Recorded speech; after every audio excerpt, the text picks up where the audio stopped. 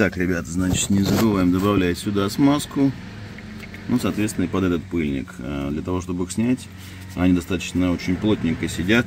А, немножечко выдержечки отсюда и выдержечки немножко вот с этой стороны прокручивайте, и он очень легко сходит.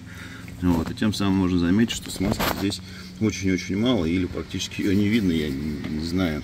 Ну, короче, нужно туда будет под пыльник ее добавлять. Вот, собственно, вся любовь. Ну и здесь тоже самую операцию произвести.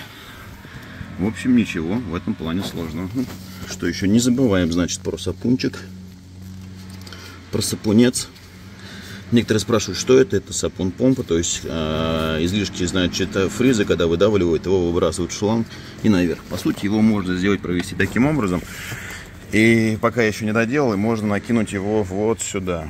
Э, собственно, зачем сюда? То есть, если у вас пробило... Э, сальник помпа, то все, что выплевывается, вы будете сюда попадать на ретро и будет парить. И вы, соответственно, будете это видеть и понимать, что что-то не так. Вот, собственно, один из таких моментов, как можно сделать. То есть его впоследствии надо просто провести отсюда, отверстие сделать и вот сюда накинуть там с какой-то из сторон, там слева, справа, как вам удобно. Вот. Это из таких моментов. Я еще пока не доделал. Просто закрепил здесь вот таким вот образом. Друзья, хотите лайфхак, как вот эти э, хомуты стягивать, то есть с каким инструментом. Ну, понятное дело, что вы знаете, что есть специальный инструмент, но если у вас под рукой нет, вы хотите, так скажем, подешевле.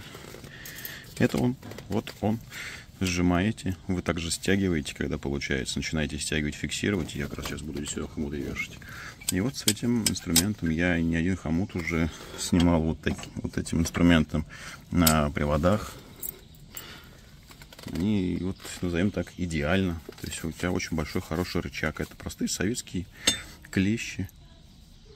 Вот они еще у меня, видите, какие. Простые советские клещи, хороший рычаг, хороший фиксатор. Ну, как-то так. Так, друзья, про вариатор. Сори за бардак. А, честно говоря, некогда очень успешно собираю, уже устал собирать. Итак, значит, смотрите, откручивается вон та гаечка. А, далее мы Соответственно, снимаем вот это фрикционное колечко, про которое я рассказывал. А, снимается вот эта часть, и у нас тут получается сальничек. Сальничек очень легко и просто подковырнуть. Так вот, тык, аккуратненько подковыриваем, и у нас получается, соответственно, а, сам подшипник. Туда аккуратненько тык-тык-тык-тык капельками добавляем смазочку. Значит, смазка, которая может подойти туда. Ее главное не переборщить. 350 градусов. Такая вот блю, высокотемпературная смазка. Вот ее туда добавляем.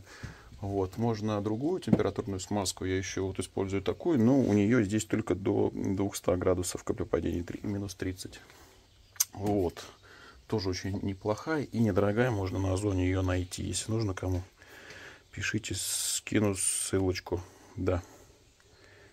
Температура каплепадения, то есть в этом плане вот тоже хорошо. Вот, ну и все, когда колечко мы это сняли, дальше собираем в обратной последовательности, ничего сложного нету, значит сначала вот эту крепляющую часть, потом э, шайбу, эту хрень, одеваем шкив и поджимаем гайкой, которая 200 ньютонов. Не забываем поставить на зубой фиксатор. Мужики, не обошла меня странная тема того, что у меня, короче, зажат был дроссель. Попробую показать. Сейчас он у меня открыт уже на полную. Вот, можно видеть.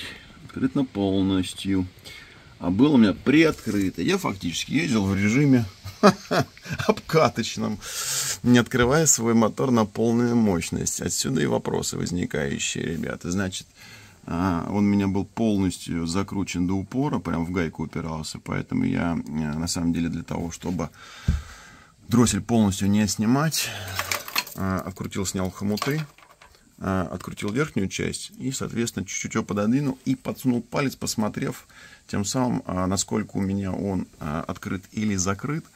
И одновременно также подкручиваю вот эту часть и смотрю, насколько он у меня открыт, дроссель заслонка. Вот, в принципе, как можно это будет настроить, проверить одновременно. То есть, вот, вот он, вот, так скажем, измеритель ваш. Вот это, это палец, блядь, суете туда, крутите и смотрите, насколько открывается. Не забываем, что дроссельная Э, круг газа, поправлюсь, э, должен быть зафиксирован на полно открыт.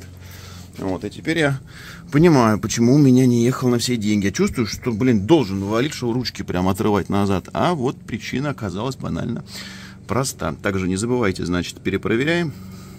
Еще раз а, выкручиваем. Если у вас закручен, значит дроссель у вас приоткрыт. Соответственно, вот не забываем и контрим гаечкой. Ну, все, ребята, всем мир задолбали слепни. Друзья, теперь, значит, я облегчу всем задачу, чтобы не снимать дроссель, как это делаю я, и пальцами берете, значит, выставляете линеечку, прикладываете, и у вас должен получиться 1 сантиметр от основания начала кручения гайки. То есть отсюда до сюда 1 сантиметр. Значит, у вас дроссель открыт на полную на 100%. Не благодарите.